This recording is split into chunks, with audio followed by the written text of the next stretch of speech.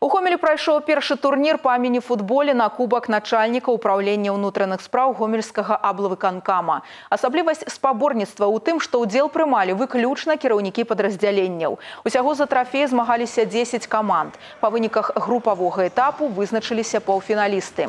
Першую пуцёўку ў галоўны матч турніру аспрэчвалі каманды АМАП і савецкага рау з Гомеля. У серыі пенальці перамаглі супрацоўнікі атрада міліцыі асобага прызначэння. У другім паўфінале дружына у УУС перайграла калег з хойніцкага раус. Паядынак за трафей атрымаўся напружаным. Толькі ў канцоўцы футбалісты ўправлення ўнутраных спраў здолелі вырваць перамогу 2-1. У планах арганізатараў зрабіць турнір традыцыйным і пашырыць состав удзельнікаў. Идея очень хорошая. Э, Многие сотрудники поддержали ее, с удовольствием поддержали ее. Э, Я надеюсь, она найдет свое э, дальнейшее продвижение и распространение.